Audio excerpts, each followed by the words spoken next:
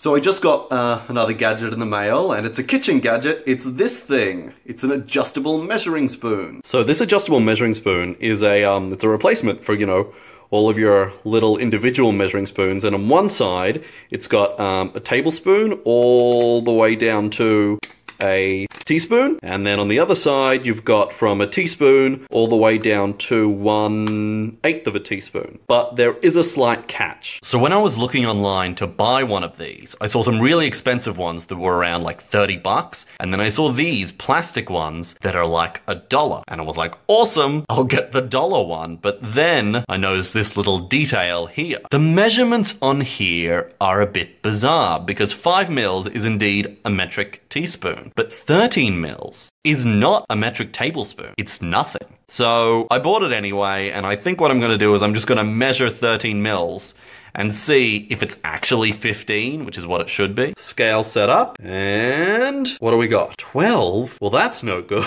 Mate, let me all do this again. Okay, let's see. This is number two. 13. Okay, well, it looks like it's not 15. Well, there you go. Adjustable measuring spoon. So, 13 mils, it's not terribly good because it really should be 15 or in Australia it's actually 20. But to be honest, I'm not really a baker. It's mostly for cooking and so measuring, you know, 13 mils of soy sauce instead of 15 mils is not going to be a big deal. So for a buck and it replaces all my other spoons, yeah, it's probably okay.